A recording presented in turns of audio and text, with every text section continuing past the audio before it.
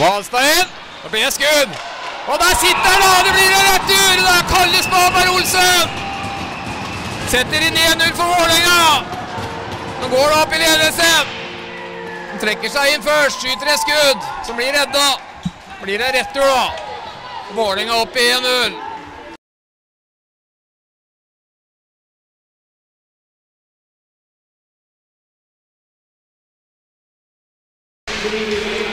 Vålerenga kommer én spiller på nærmeste. Og nordmann tar den, da. Tar den i snappen.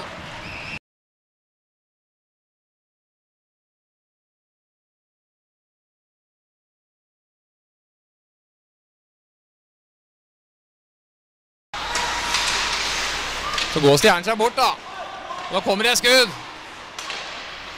Nei, holder den inne. Blir tvers over. Og det er i mål! Vålerenga går opp i 2-0! Det er Spaberg Olsen da, spiller et tversoverpass. Vi får et direkte skudd. Og Vålerenga går opp i en fortjent 2-0-ledelse.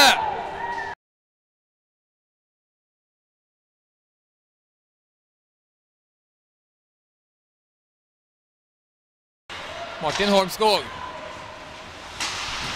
Spiller Finsrud til Hansen. Legger den på kassa, og det er nesten! Og Finsrud klarer å sette inn den fra bakerste.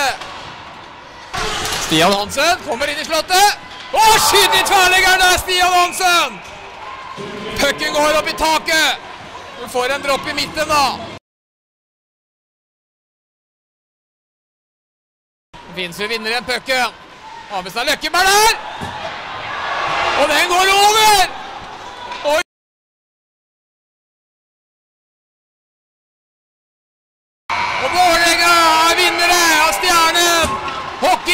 2015, og det er fullt fortjent! Selv om Stjerne kom kraftig da, i andre periode.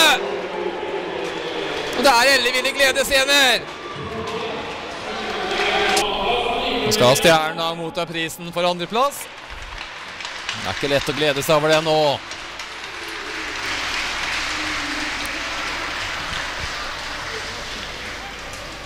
Så er det Vålerenga, da.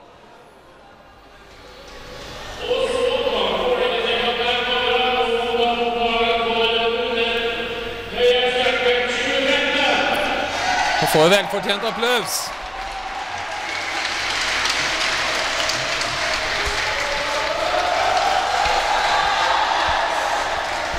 Og det er herlige scener her i Stjernehallet. Vålerenga, vinnere av Stjernen hockeycup 2015. Og da, da takker vi for oss.